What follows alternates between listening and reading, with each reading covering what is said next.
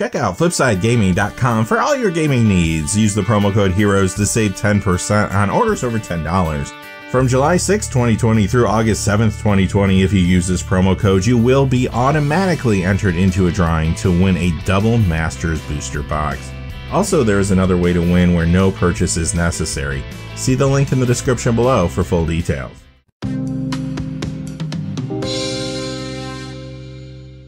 Hey there, this is John from Heroes and Legends, and welcome to another edition of the Magic the Gathering Market Watch. And we now know all the cards that are going to be in Double Masters. And of course, those reveals over the last couple weeks have definitely impacted some card prices. Beyond that, there's a lot of other things going on in the secondary market. A lot of vintage cards are getting hot again. You're going to see that later in the video. But first, a quick reminder before we get started. If you go to flipsidegaming.com, you can use the Heroes promo code to save 10% on orders over $10. They still have Double Masters VIP packs and boxes on their website for pre-order and a whole lot more on the website. Also, whenever you use that promo code, it does support the channel, which is always appreciated. So thank you. And without any further ado, let's get into it.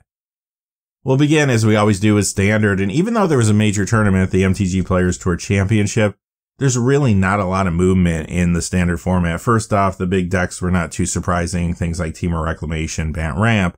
But also too, a lot of players can't sit down and play paper standard.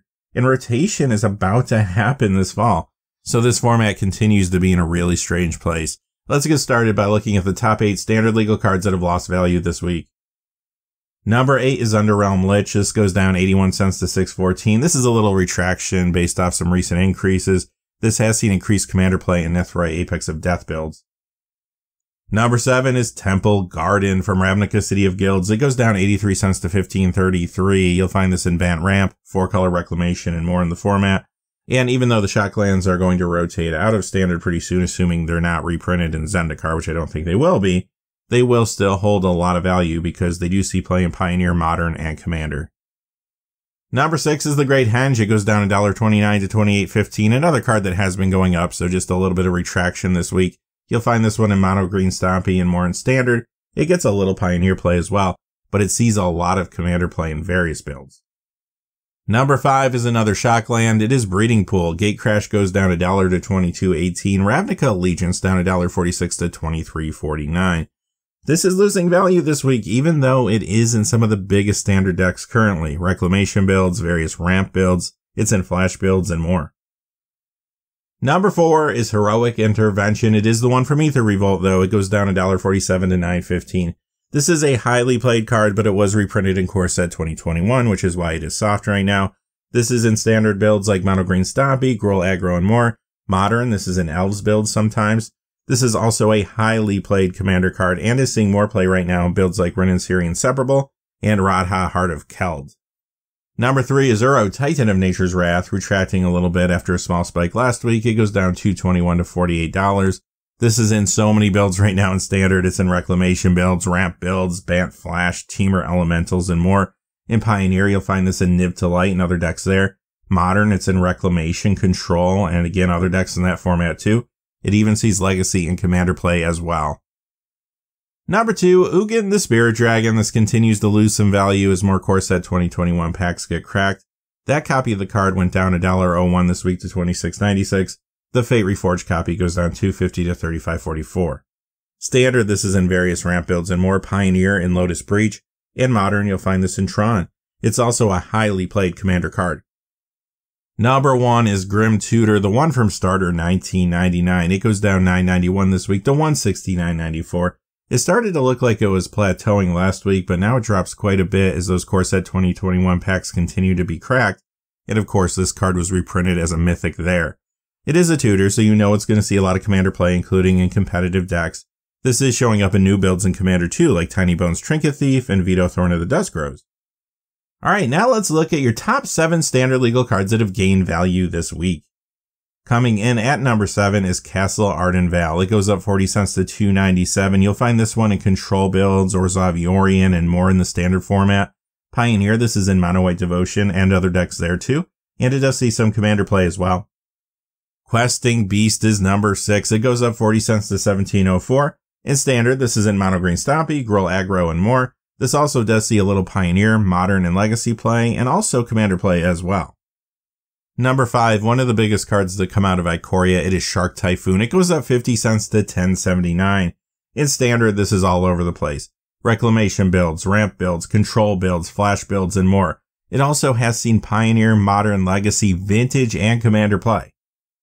Number four is Yarok the Desecrated. This goes up 67 cents to 979. This doesn't see a whole lot of standard play, but it is a very popular commander.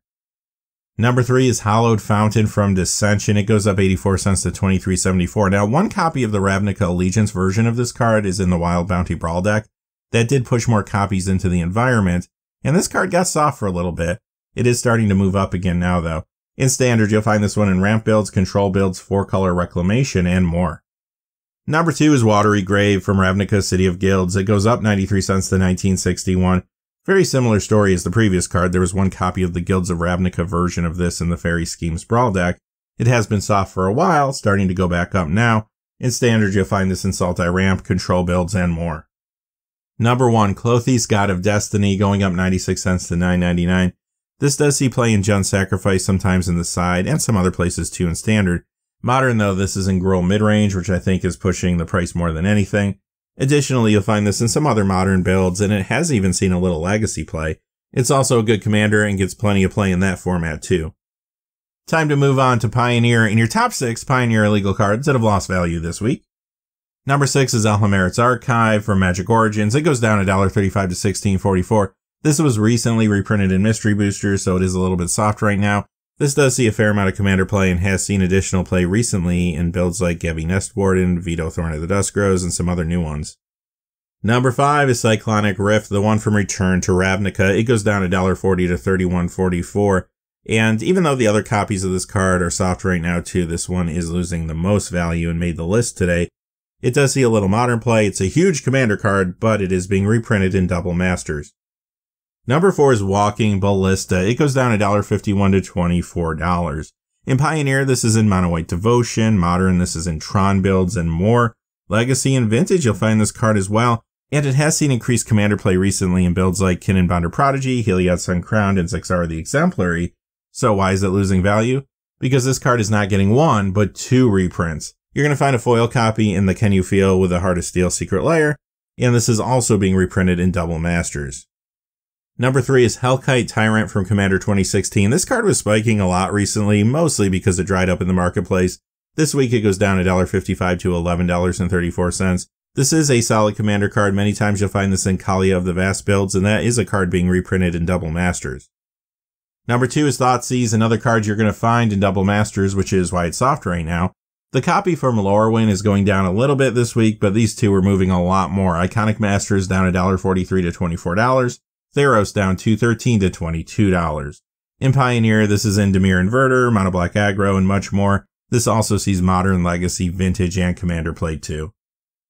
Number one, yet another card that is being reprinted in Double Masters. This is Archangel of Thune, the copy from Iconic Masters. It goes down 311 to 2479 this week. This does see Commander Play in Life Gain and Angel builds. Okay, on to your top eight Pioneer legal cards that have gained value this week. Number eight is Growing Rites of Itlimoc. It goes up 82 cents to 1995. This is a highly played commander card, and it's seeing some more play now in recent builds like Rin and Seri Inseparable and Xyris the Writhing Storm. Remember too, this plays really well with Rhys the Redeemed, and that was reprinted not only in mystery boosters, but it's also going to be in double masters.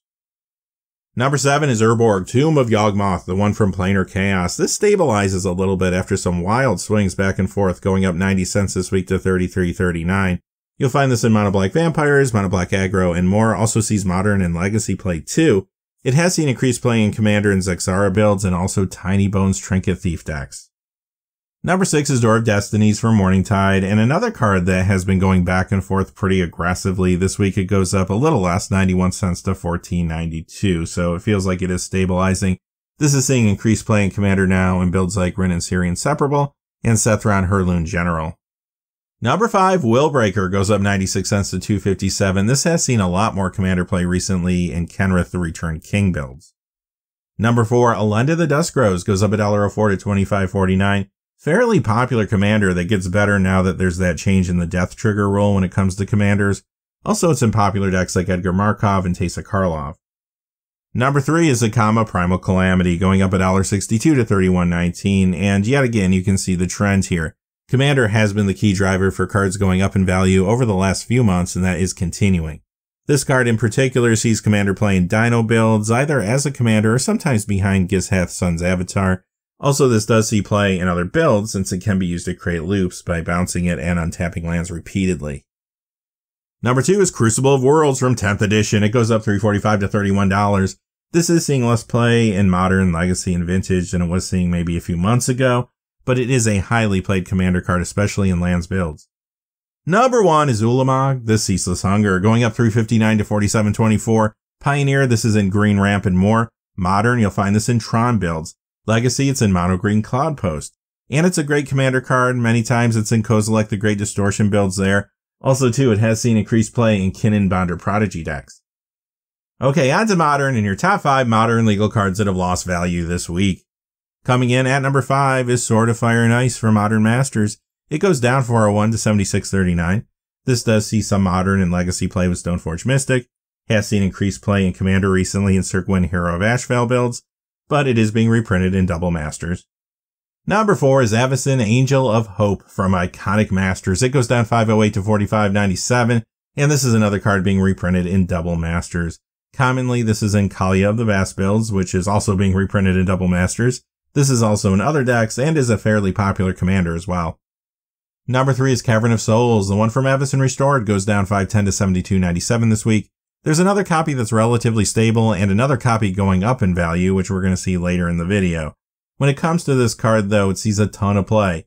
In Modern, Eldrazi Tron, Amulet Titan, Humans, it also sees play in that new Goblins build that came about when Conspicuous Snoop was printed in Core Set 2021. You take that card, Boggart Harbinger, Kiki Jiki Mirror Breaker, Sling Gang Commander, and you got a nice combo there. That's also happening in Commander 2, so this is seeing some increased play in Goblin builds there. It's also just seeing increased play in other decks too, like Winota Joiner of Forces and Rin and Seri Inseparable. On top of that, it gets Legacy and Vintage play too. Number two is Grave Pact from 8th edition, seeing some retraction after some recent increases. This copy goes down 562 to 3248. This does see a lot of commander play, especially in builds like Teysa Karlov and more. It did get better too with that new death trigger rule. Number one is another card that has been spiking recently, normalizing this week. This is Kozilek Butcher of Truth from Rise of the Eldrazi. It goes down 774 to 5822. Many times in Legacy, you'll find this in Mono Green Cloud Post and Commander. Typically, this is in Kozilek the Great Distortion builds. And it has seen increased play in Kinnan Bonder Prodigy decks there too. Okay, time for your top six modern legal cards that have gained value this week. Number six is Akroma's Memorial from Future Sight, going up 340 to 3569. This is another card you might find in Riza Redeemed Commander builds, also showing up in some Radha Heart of Keld decks too.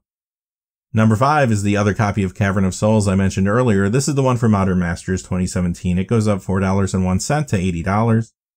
Number four is Parallel Lives. This is a highly played commander card, seeing more play now in Rin and Seri Inseparable and some other new builds. It goes up for 20 to $30. Number three, Liliana of the Veil. Innistrad goes up 278 to 6650. Ultimate Masters goes up 533 this week to 6797. This sees modern play in Jund and also more decks in the format, but it's also seeing some more commander play now in those tiny bones decks. Number two is Privileged Position. Ravnica City of Guilds up $1.56 to 12.55. The Guilds of Ravnica Selesnya Guild Kit copy up 584 to 1749. This is seeing more commander play now because of the shrines from Core Set 2021. There's a lot of players building shrine enchantment decks around Sisay Weatherlight Captain currently, and this card is getting thrown in the mix too. Number one is a card that actually sees modern play. It's Gemstone Caverns going up 612 to 4285 this week. This is in decks like Mono Bluetron, Eldrazi Tron, Red Midrange, and more. Also, this has seen Commander play in a number of builds. Alright, that brings us to the Vintage Spotlight. This is where we talk about cards that see play in Legacy, Vintage, 93, 94, or cards that are just popular among collectors. We'll begin with Yawgmoth's Will from Urza Saga. Now, this is on the reserve list, but it did get a Judge Foil printing before they closed that loophole on the list. It goes up 551 this week to 129.99. This sees vintage play, commander play. It's even seen increased play in Tiny Bones builds there. But I do think part of the reason this card and maybe some others are going up this week is because of the Magic the Gathering Online Vintage Cube. Some of the cards that are featured in that cube that maybe some players either forgot about or never saw before tend to go up every time they bring the cube back. Next is Vampiric Tutor, 6th edition up 356 to 9708. Eternal Masters goes up 646 to 11496. This sees vintage play. It's a highly played commander card as well, especially in competitive builds. And of course, this also is showing up in Tiny Bones decks as well. Next, we have Mox Diamond from Stronghold. This is on the reserve list, but it did get a printing in foil and from the Vault Relics before they closed the loophole. It goes up 657 to 399.97 this week. You'll find this one in Legacy Lands, 4-color loam, and more in that format. Also, this does see play in a lot of commander builds, especially competitive decks. The first of many dual lands on our list today. These are all on the reserve list, so I won't keep saying it. This is Scrubland from Revised. It goes up 746 this week to 234.95. Savannah from Revised up 826 to 223.84. Tundra from Revised up 1059 to 291.20 on the reserve list, but it did get reprinted again and revised. Vesuvan Doppelganger from Unlimited has a pretty big percentage jump this week. And I talked about this the last two weeks or so, but Unlimited cards are definitely getting hot again. You're seeing some random ones spiking like this one. This goes up 1065 to 8361. Winter Orb from Unlimited. Here's another one. It goes up 1297 to 7246. Back to revised dual lands with Underground Sea going up 1451 to 51449. Gilded Drake on the reserve list goes up 1736 to 21945. Many times in Legacy, you'll find this in the sideboards of Vesper Vile or Merfolk. Also, this is a popular commander card, especially again in competitive builds. Mana Crypt, the original book giveaway promo goes up 1755 to 41892. This just got reprinted in Mystery Boosters. It's getting reprinted again in Double Masters, but this original copy is still rare, hard to find in good condition, and is definitely sought after. This is a great vintage card, great commander card. Again, it does see play in competitive builds too. Bayou from Revised goes up 2152 to 379.44. Copy Artifact on the reserve list revised up 356 to 49.99. Unlimited goes up 2285 to 175.83. This does see a good amount of play in Commander and Urza Lord High Artificer builds and others. Power Leech on the reserve list, perhaps a targeted buyout. This goes up 24.27 this week to 32.92. Tropical Island from Revised that goes up 25.89 to 420 this week. Repentant Blacksmith from Arabian Nights has a pretty big jump going up 26.80 to 186.50. This is not the only copy of the card. You can find cheap copies out there if you want one, but this is again all about collectors zeroing in on the original. Tetsuo Umezawa, this goes up 32.23 to 94.99. This is on the reserve list, and this is a character that actually defeated Nicol Bolas back in the day. Gaea's Cradle from Urza Saga on the reserve list, but it did get reprinted as a judge foil before they closed that loophole. It goes up 42.25 to 589.55 this week. This card just keeps going up and up. In Legacy, you'll find this in Elves, Maverick, and some other builds there. Vintage, it's in Hollowvine. And it's a great commander card. It's great in builds like Rhys the Redeemed and Rin and Seri Inseparable, for example. Wheel of Fortune from Unlimited on the reserve list, but it did get reprinted again and revised as well as getting a judge foil later on. This goes up 46.21 to 369.95 this week. Great vintage card, great commander card.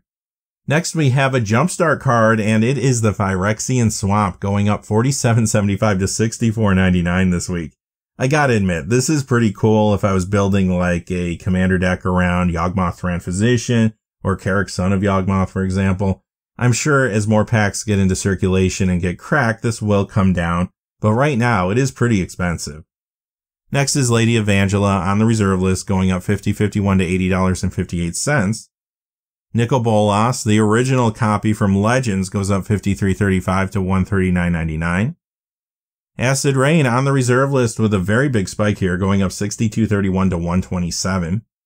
Another dual land with Volcanic Island revised goes up 37.83 to 499.90. Unlimited goes up 87.98 to 887.97. Okay, the next five cards are all on the reserve list, so I won't say it repeatedly, but there's also something else I wanted to mention about them. It does appear that their prices are being pushed because there's some new copies entering the marketplace and the seller, which is actually all the same seller for these next five cards, is asking a slightly higher price than what has been asked. Now, they could be putting that price out there to try to fish for an offer. That's pretty common, but because there's not a lot of these particular cards sold in any given week, it is throwing the data off a little bit, so just keep that in mind for this and the next four cards. First we have Drop of Honey going up $125 to $539.99. Mox Emerald from Unlimited goes up $279.98 to $2,709.99. Time Walk from Unlimited up 285 to $2,684.99. Mox Pearl from Unlimited up 285 to $2,685. And Mox Sapphire from Unlimited up 325.94 to $2,725.93. In case you haven't seen enough Commander cards yet, I got more for you. Welcome to the Commander Spotlight. We'll start things off with Nekusar the Mindrazor from Commander 2013. This goes up at $1.07 to 937. This is a very popular commander and it's being pushed by some new cards from Core Set 2021, including Peer into the Abyss. Next is Heartless Hidetsugu. This is the one from Conspiracy going up at $1.09 to 546. This has seen increased commander play recently in Obosh the Prey Piercer builds. This is also seeing more play because of a Core Set 2021 card as well, Fiery Emancipation. Those two cards play really well together as long as you have a way to stay alive yourself, like Angel's Grace or Platinum Angel, for example. Last Chance from Starter 1999 continues to go up, another $1.10 to $25.99 this week. This does see a little commander play, but for the most part, it just dried up in the marketplace recently. Maybe there is a little interest in this because of discontinuity from Core Set 2021. Cruel Tutor, this goes up at $1.13 to $49.88. Another tutor in black, probably not a coincidence that a lot of people are building around tiny bones right now. But of course, these tutors are going to be great in Commander generally. Honden of Cleansing Fire from Champions of Kamigawa goes up at $1.17 to $4.12. Of course, this is getting a push because of those Core Set 2021 shrines. A lot of players are taking the old shrines and the new shrines and putting them in the Sisay Weatherlight Captain builds. Tooth and Nail from Mirrodin goes up at $1.18 to $21.21. This does see Commander play in a number of builds, including Kinnan Bonder Prodigy, and also in Riku of Two Reflections, which is being reprinted in Double Masters. Maelstrom Wanderer from Eternal Masters goes up at $1.20 to $22.99. This is a very popular commander. Ruby Medallion from Commander 2014 goes up $1.25 to $15.25. This card has been hot recently. This whole cycle is awesome for Commander in general. This one in particular is seeing a little more play because of cards like Fiery Emancipation, which we mentioned earlier, also, there are some new legendary creatures that could be pushing this too in various builds. Things like Zurzoth Chaos Rider, Sabira Telzidi Caravaner, Muxus Goblin Grandee, and more. Remember, Krenko Mob Boss got reprinted recently in Jumpstart too. Serra Ascendant from Magic 2011 up $1.35 to $15. Many times this is in life game builds. This has seen increased play recently too in Heliod Crowned and Inniaz the Gale Force decks. On top of that, it sees a little legacy play as well. Kiki-Jiki Mirror Breaker from Champions of Kamigawa up $1.35 to $29.13. So I mentioned earlier why this card was going up in value. It is seeing some increased modern play in those goblins builds, but also that combo we talked about is viable in Commander as well, so it is seeing some additional Commander play too. A couple of the big commanders that are running this right now are Krenko Mob Boss and Muxus Goblin Grandee. Conqueror's Flail. This goes up $1.36 to $16.50, and this has seen increased play in Syr Gwyn Hero of Ashvale builds, this is also found many times in Godo Bandit Warlord decks, and that is being reprinted in Double Masters. Memory Jar from Urza's Legacy on the reserve list, but did get a reprinting in foil and from the Vault Relics. This has seen increased play in Xyris The Writhing Storm builds recently. This goes up $1.37 to $21.81. Jet Medallion from Commander 2014, another medallion going up $1.37 to $29. And this one, of course, has seen increased play in decks like Tiny Bones and Vito Thorn of the Dusk Rose. Urza Lord High Artificer up $1.48 to 41.98. This is a highly played commander. Also found in Breya Etherium Shaper builds, and of course that is being reprinted in Double Masters, as well as most of the cards in that deck, I think. Beyond that, this does see play in Modern Urza builds, and also does get some Legacy play too. Time Spiral, still here, still going up. It is on the reserve list up $1.52 to 123.37. This has seen increased play in Xyris The Writhing Storm, Brawlin, and Shabraz. Also, too, remember the Locust God was recently reprinted in Commander 2020 as well. Luminarch Ascension from Zendikar. This goes up at $1.55 to 944. This has seen increased play in a number of new builds, including Inniaz the Galeforce, Mangara the Diplomat, and Heliod Sun Crowned. Mana Vault, classic commander cards. He's playing a lot of different builds, including competitive ones. Also sees vintage play. Ultimate Masters goes up a dollar to $61 this week revised up $1.64 to $50.80. Force of Negation. This card sees play everywhere, right? It goes up $1.66 to $43.97. In Modern, it's in control builds. Legacy, Temur Delver, and much more there. Vintage Blue Xerox, and a whole lot more in that format too. But now it's seeing more and more play in Commander, especially as competitive Commander becomes more popular. Ancient Tomb from Ultimate Masters. This is a highly played Commander card, also sees Legacy and Vintage play. It goes up $1.69 to $43.21. Earthcraft on the reserve list up $1.69 to $83.99. This is in Rhys the Redeem builds many times. Also has seen increased play in Xyris The Writhing Storm. Qasali Slingers from Commander 2017 up $1.91 to 624. This was reprinted recently in foil in the OMG Kitty Secret Lair. This has been seeing play in Arahbo builds for a long time, but now it's seeing more play in Rin and Seri Inseparable decks.